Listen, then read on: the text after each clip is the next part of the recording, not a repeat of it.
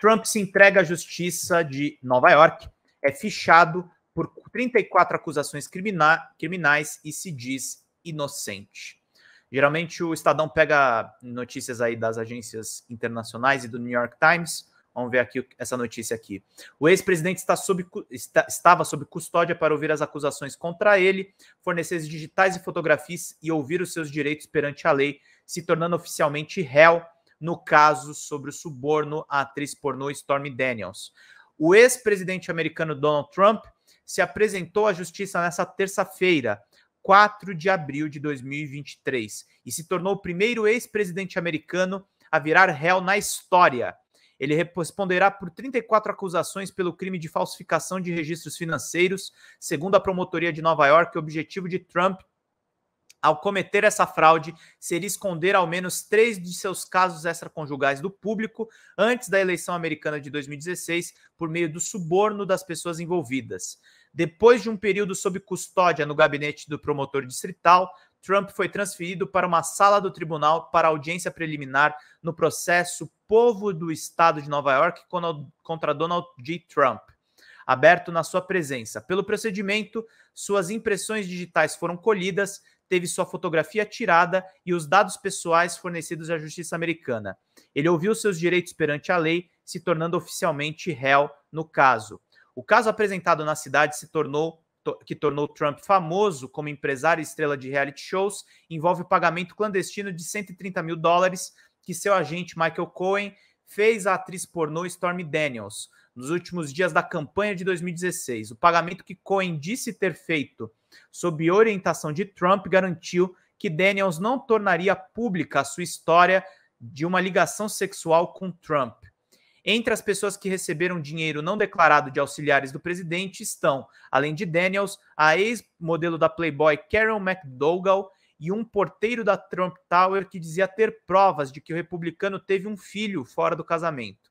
Segundo a promotoria, McDougall ganhou 150 mil dólares da revista National Enquirer, uma publicação próxima do ex-presidente, numa prática conhecida da imprensa sensacionalista de pagar pela exclusividade de uma história e não divulgá-la. O mesmo ocorreu com um porteiro que teria levado, 130, que teria levado 30 mil dólares da publicação.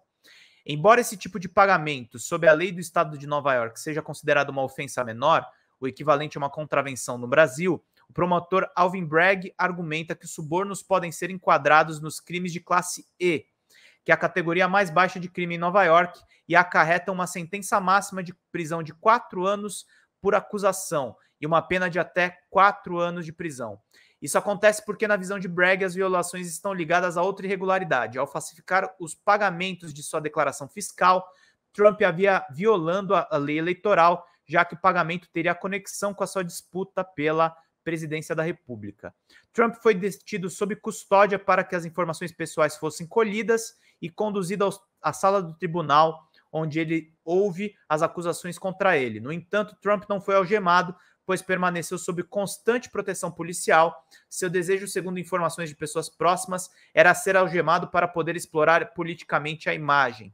Mas o ex-presidente não deu nenhuma declaração enquanto era transferido entre as salas que ficam entre os andares diferentes no tribunal. Depois dos procedimentos formais de acusação, Trump deixou o tribunal e seguiu com sua comitiva direto para o aeroporto LaGuardia para o seu voo de volta em seu avião particular para sua missão em Mar-a-Lago, na Flórida. Trump deve se pronunciar na própria Flórida. Então tá rolando isso aí, gente. Vai, a gente vai ver o que vai acontecer nos próximos capítulos. Não esqueçam, mandem superchats, virem membros aqui da Folha Democrata. A gente precisa da ajuda de vocês nesse momento para a gente fazer crescer aqui o nosso canal. Obrigado, Sandra Araújo. Boa noite. Boa noite a todos que estão aqui nos acompanhando aqui para vocês ficarem por dentro de tudo o que está rolando, gente. A gente quer que o canal cresça cada vez mais, a gente precisa da ajuda de vocês nesse processo. Uh, em nenhum momento Trump se pronunciou na chegada do tribunal mais cedo, ele acenou brevemente antes de ser escoltado para dentro do escritório do promotor distrital de Manhattan. Os crimes contidos na acusação contra Trump foram votados por um grande júri na semana passada e o processo é conduzido pelo juiz Juan M. Merchan, da Suprema Corte Estadual. Em um comunicado divulgado após a audiência preliminar, o promotor distrital de Manhattan, o Alvin Bragg, defendeu o processo contra o ex-presidente pelo qual é responsável. Manhattan abriga o mercado de negócios mais significativo do país. Não podemos permitir que empresas de Nova York manipulem seus registros para encobrir conduta criminosa. Trump chegou a Nova York na segunda-feira para se apresentar hoje ao tribunal em um episódio que demandou intenso esforço de sua segurança devido a riscos de confrontos entre os apoiadores e opositores do ex-presidente que se reuniram em frente ao tribunal. O ex-presidente entrou no tribunal por, por volta das 13h24 locais, às 2h24 de Brasília, por uma porta especial que dá acesso a um elevador privado reservado a promotor distrital e juízes após fazer uma carreata pela Trump Tower no centro de Manhattan, onde passou a noite de segunda-feira. Ele andou sozinho em um carro com agentes do serviço secreto, mas foi acompanhado ao tribunal por vários advogados e assessores políticos em outros veículos. Próximos passos do Donald J. Trump. O comparecimento do ex-presidente ao tribunal hoje, é, no entanto, é apenas um passo no que provavelmente será um longo processo legal. Nas próximas etapas, a defesa de Trump tentará convencer o juiz do caso, o juiz Merchan, a arquivar a denúncia. Caso isso não ocorra, durante as audiências que antecedem o julgamento, Trump terá que se declarar perante a corte se é culpado ou inocente. Se não houver acordo entre a defesa e a acusação, o caso vai a júri popular. Por ser réu primário e idoso, dificilmente Trump será condenado à pena máxima, já que há atenuantes, segundo juristas americanos.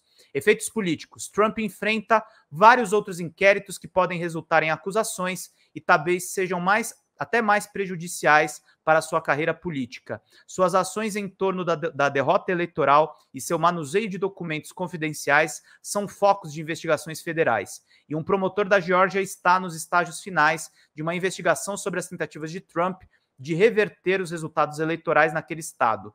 Tudo isso se desenrola no contexto de sua terceira candidatura à Casa Branca. A acusação de Trump lançou a disputa pela indicação republicana que ele lidera na maioria das pesquisas em território desconhecido. Ao mesmo tempo, ele alternadamente se preocupava e se gabava com a perspectiva de uma prisão, enquanto seus assessores aproveitaram o indiciamento para aumentar a arrecadação de fundos e empurrar os rivais de primárias para uma dança desajeitada entre criticar os promotores e apoiar Trump. Na Casa Branca, a porta-voz da presidência, Karine Jean-Pierre, disse que o fichamento de Trump não é prioridade hoje para o presidente Joe Biden.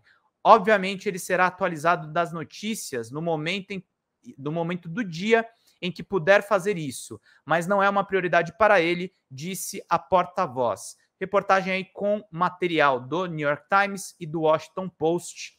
Então tá quente esse assunto, a gente está fazendo a quente essa live. Então é muito necessário aí que vocês contribuam, que vocês colaborem. Obrigado, Sandra Araújo, por mandar mais uma contribuição aqui para a gente. Faltam 40 pilas aqui para nossa meta inicial, gente. Não vai ter o programa hoje, mais que política, porque a nossa apresentadora, Duda Bosch, está enfrentando alguns probleminhas. Por isso entrou o Break News hoje extra.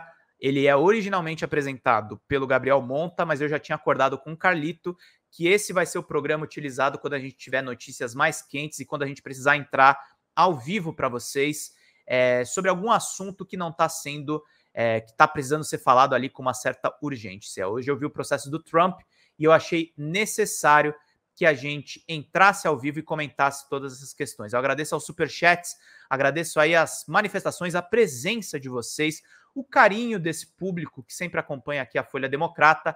Tornem-se membros para vocês ganharem um curso de jornalismo. Também mandem superchats, mandem contribuições, que é bastante importante para todo mundo poder acompanhar aqui a nossa live, gente. Vamos lá para todo mundo ficar por dentro de todas as informações.